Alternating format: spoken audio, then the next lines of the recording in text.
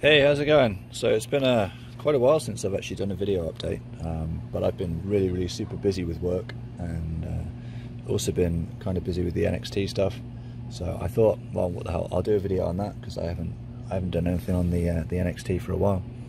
Um, so as well as for the BBS HD and other motors, it also has to run for the Sur-Ron, and we were finding that the uh, the GoPro Peg version, it's not really that strong for that kind of riding. So looking at doing uh, a different version and actually advancing the dock idea that I had quite a while ago uh, and seeing if uh, I can do a version for that. So initially I made I made this version here um, with the bolt holes in the corner and I thought it could be people could you know use it to mount it onto a, a plate or something um, and that kind of developed a bit into this one here and that fits into a dock here. So I'll show you how that fits onto the bike.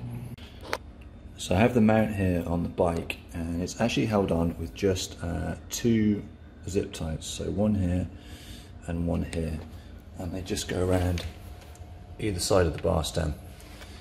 And then the case itself locks in here snaps in. Um, and it's pretty solid. Like you can, you can actually turn it. Um, not that you would want to steer with the case, but you can see what I mean. It's not going anywhere, and with road noise and vibration, uh, it's definitely much more solid than the GoPro pegs.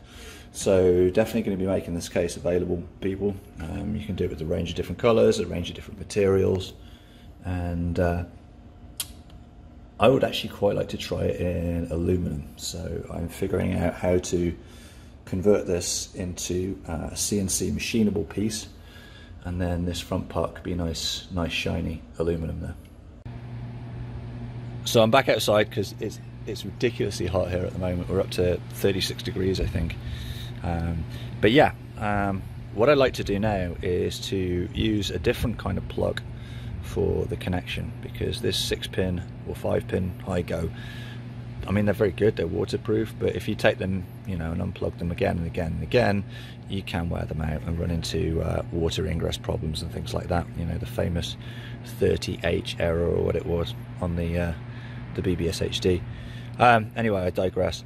But the point being that this essentially um, becomes uh, a key.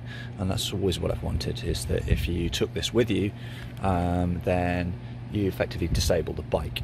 Uh, in terms of the, the software on the NXT it's actually been undergoing some major major revisions of late. And it's looking like it's going to be a lot more stable. Uh, Alan's been working crazy amounts of hour on the uh, on the latest update and I'm not going to go into it too much. I'll, I'll let him do that. But um, essentially what has happened now is that this screen here and the rest is, is running the whole show. So nothing will ever get flashed to your BAC, which is a good thing because, I mean, flashing firmware and then the power cycling, anything like that, you can end up bricking these. So the less that it's flashed to, the better, really.